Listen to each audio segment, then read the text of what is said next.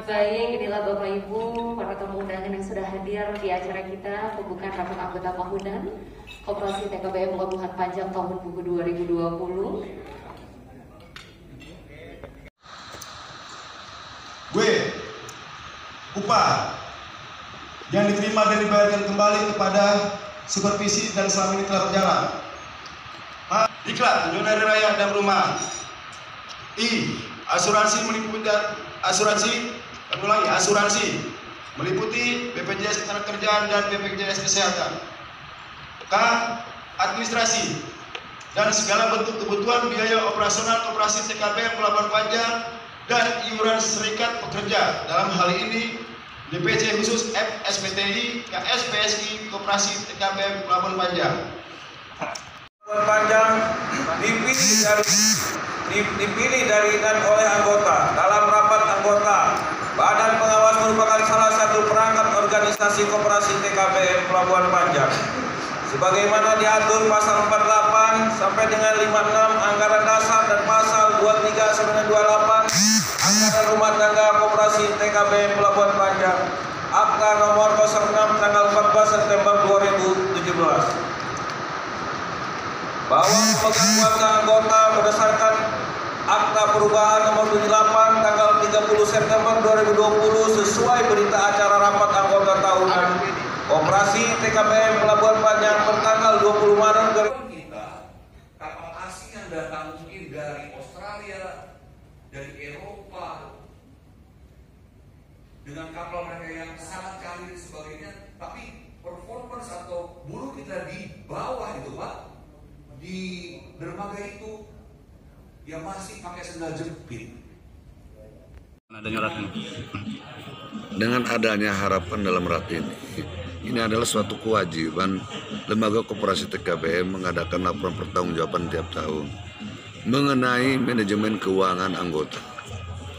Namun yang disesalkan eh, LPJ pada tahun ini ada aturan mengenai COVID-19 yang dikeluarkan perda maka buruh semua ti- tidak dapat diundang. Namun diwakilkan oleh seluruh supervisi tapi harus beracuan kepada undang-undang koperasi dan KM 35 mereka harus mendapatkan mandat. Mandat tertulis oleh anggota yang diwakilkan kepada supervisi. Di mana rat ini kita memecahkan keuangan. Keuangan per tahun pengeluaran pemasukan penggunaan yaitu dari APD baik pun itu SSI, SHU, beras dan sebagainya yang kita berikan kepada mereka. Maka beras ini kita bagikan, kita tidak menghitung per tahun sekali.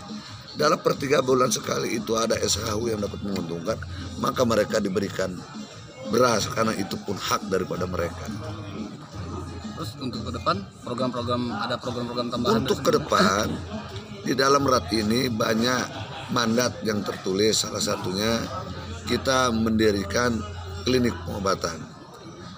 Ya mungkin ini kita akan segera berkoordinasi dengan pengurus yang ada dan pembina karena kantor itu adalah bukan milik koperasi TKBM karena kantor itu milik Pelindo maka kami akan berkoordinasi tapi kemarin sebelumnya mereka sudah menyetujui untuk membangun tempat itu kalaupun memang harus ada klinik pengobatannya. Nah ini mungkin kita akan bangun itu. Jadi harapan kita rat ini akan diterima usulan-usulan kita dengan oleh anggota ini. Insya Allah, Insya Allah mudah-mudahan rat ini dapat diterima dengan baik karena kita transparan dan memang itu secara aturan diatur oleh Undang-Undang Kementerian Koperasi dan didaudit oleh audit independen yang ada. Oke, terima kasih sudah cukup tinggal BP. ya tolong diperhatikan hal-hal ini ke depan bahwa dunia sudah berubah cara kerja di pelabuhan sudah jauh berubah tapi kalau kita tidak berubah buruh tidak berubah itu tidak akan ada hasil yang maksimal yang kita dapatkan Bapak-bapak masih mau kan pekerja maksimal dapat hasil yang maksimal Pak? Iya, untuk itu kita kejar ketinggalan kita ya. Lalu eh, Pak Agus UU PJK-nya juga harus segera kita bentuk ya.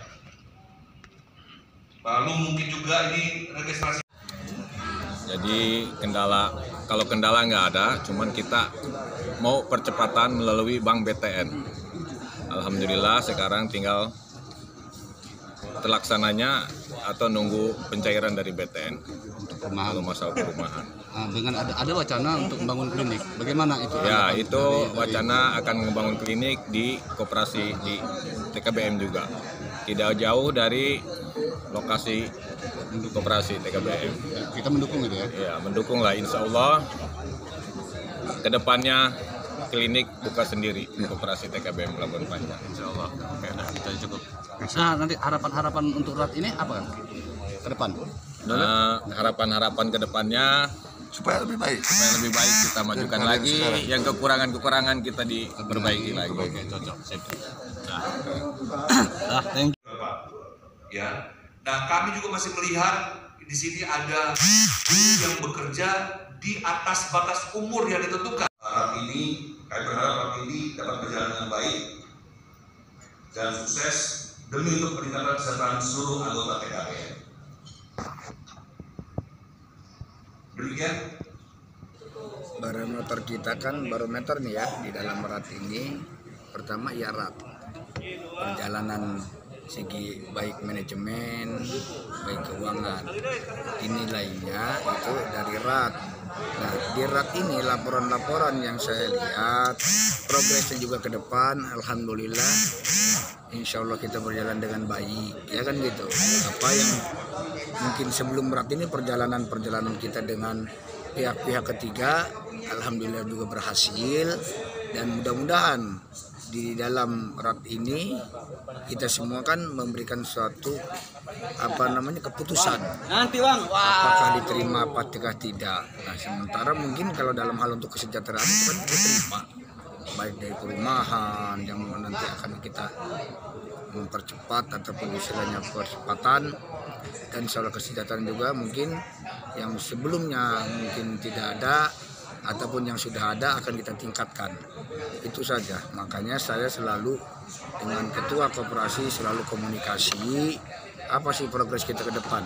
Yang langsung gitu kan dengan apa namanya TKBM yang langsung dirasakan apa manfaat yang akan kita berikan. Itu saja mungkin. Ini harapan ke depannya. harapan kita pokoknya apa yang progres ini selama ini yang kita canang-canangkan ataupun kita ciptakan ini bisa berhasil terlaksana. Dan insya Allah mungkin terlaksana karena kita sudah ada di pihak-pihak ketiga ini mau membantu dan bekerja sama dengan kita kalau soal kita dengan seri, dari serikat sendiri mengapresiasi semua.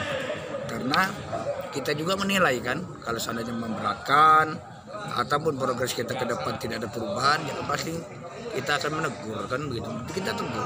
Oh selfie Ya. selfie. Kan kita akan menegur gitu. oh iya kita tegur. Saya orang paling paling paling nggak mau diam gitu. Di dalam hal kesejahteraan daripada buruh diabaikan. Dan alhamdulillah walaupun BPJS tenaga kerja kita yang selama ini belum dibayarkan memang dananya juga istilahnya sekarang ini masih digelapkan ya kan? Belum terbayarkan oleh istilahnya pengurus yang lama. Ya selama ini apa pun kecelakaannya apa pun kematiannya kita semua cover. Karena saya akan memonitor saya bilang harus sesuai dengan peraturan BPJS karena walaupun entah itu seperak pun saya bilang kalau berkurang ini akan menjadi momok paling terbesar gitu kan istilahnya dengan ya mereka ini sekarang udah pinter lah berapa, berapa sih kematian berapa sih kecelakaan ya istilahnya dari istilahnya dari anggota sampai keluarganya kita bantu semua Oke, dulu. Bertanya lagi. guru ini ya, eh, guru kita ke depan.